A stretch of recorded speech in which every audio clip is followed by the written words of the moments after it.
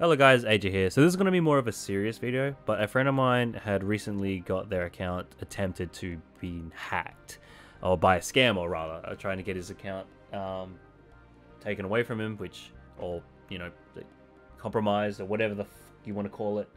Um, it's really shitty.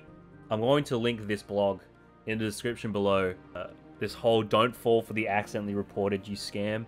I actually, we actually got to witness this firsthand and it's crazy to think about um, that this shit's still happening. I think it's really crap.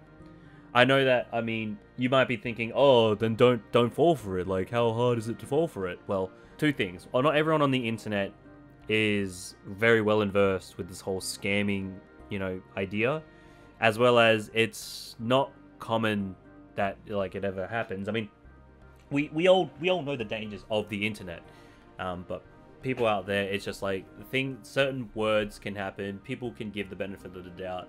Um, in the case of my friend, uh, they're they're a super kind soul and did believe that it was legitimate, but you know these these are mistakes that happen, and you know everyone should learn from it. And right now, I'm just spreading awareness that if you ever see this shit, completely ignore it. Even if it's a fucking prank, just like it's a shitty prank if you try something like this. Like, what the hell's wrong with you? Um, but yeah, don't don't ever fall for if you ever see this line, ignore it. Anyway, the hilarious thing was this blog pretty much is the play-by-play for everything that happened to my friend's account. So the first thing that will happen was they'll start they'll they'll throw in this somewhere. The I accidentally reported you, or you've been reported in some sort of way uh, to get your attention. If I actually go to this screenshot that I have, uh, the the following images will have three screenshots have different points of where this blog highlights actually does happen. So as you can see on the top left, it's showing that this guy, and I'm, I'm leaving this guy's name because he deserves to be exposed. This this whole thing here where it's like, I have something important to tell you. I made a terrible mistake towards your account. Again, iterating that whole account thing. My friend didn't know who it was, responds in such a way. Um, you don't know me, I accidentally reported your account. There's there's the immediate red flag we should be very careful of. I accidentally reported your account. So it's ironic. It's like, oh, I, I reported your account for scammers as a scammer. Like, that, like, it's fucking cringe. Anyway, you can see this is him opening up the conversation to my friend. Scammers are straightforward but polite. Some are more forceful, but regardless of the fact, they'll always say that they um, reported, uh, they accidentally reported something. The next thing that they'll follow up with is the help. Pretty much what they'll do is they'll try to refer to you towards a Steam admin.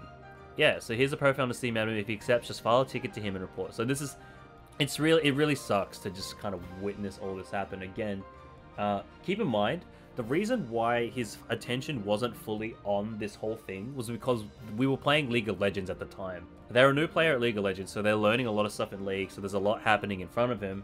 And then this was happening in the background where, unfortunately, they were just like, you know, doing their own business, playing the game. They like, eventually they had to AFK when things started getting a little bit sus. You can see on the bottom left here, the second screenshot is it's best to add him on Discord. So this is the the help profile uh, before it's too late. Oh no, just like what the support ticket says. Oh no, like fucking. The first red flag is the accident reported thing. The second red flag is if they try to refer to you someone to Discord, that's wrong. Like, don't don't ever take that. Now, finally, when you talk to that to the next person on the Discord, the Steam admin, who is most likely a scammer or an accomplice, all right? Keep that in mind. They will try to be professional to you. They'll say whatever, you know, just blurt out generic shit that, you know, you, you don't need to hear. Um, but the first thing that one of the things that they will ask is your purchase history. I don't know if they gave them the purchase history, but they were talking about what does he need my purchase history for? And then that's when a lot of us were also starting to listen in on it and we we're like, that sounds pretty weird, you know, like that doesn't sound right. And then the fake admin asks for any information and then specifically the email address. Now, I don't know how they got the email address. I don't know if my friend who got scammed provided the email address. But what I did know was that, again, on the screenshot here, which I'll show, is that they somehow did get the email address and then they asked for a code. Unfortunately, that code is was given. Um, my friend gave him the code, and then when it got to this section here, that's when things started being red flagged. I don't know if anything was lost, but eventually, uh, a family member actually got the account locked. And I'm putting, I'm making this video just as a huge, like, awareness thing. Like, please do not fall for this crap. And if you fall for it, unfortunately, it is on you. But be aware to not get caught by this shit. Yeah, that's basically everything. Like I said, like everything that the blog has stated uh, is followed up. If you want to give it a read, uh, please click on the link below. There's so many different possibilities that you can see. Here's a, some random certificate of eligibility. Like, what? okay. And then obviously there's this stuff too. We don't have much time. I'm giving you an opportunity to comply to fix your account. Scammers refurbish accounts to make it look like a Valve employee by customizing its URL and providing more background info. If this doesn't scream I'm a Valve employee, then I don't know what does. But I'll finish this video by stating that I could read them out to you, but I don't want to make this video too long. But these dot points here, they, they, they definitely for sure will let you know how Steam does their shit. First off, a Steam moderator will never contact you via chat or third-party app like Discord. No such thing as a Steam admin false report or certificate of eligibility. There is no such thing of that, okay? There is no such thing as an illegal item. Therefore, there's no need to approve it. If they talk about illegal items, that's already blah. If an item does need inspection, a Valve employee does not require you to hand it over. They can just look it up. Duplicated items exist, but they're not illegal. Uh, if you handed over an item to someone claiming to be Steam owner, consider it gone forever. Apparently, the policy is that Steam support does not restore the items. What's important for my friend right now is that they get that their account is safe, their money is safe, their games are still there, it's fine. But you get the idea.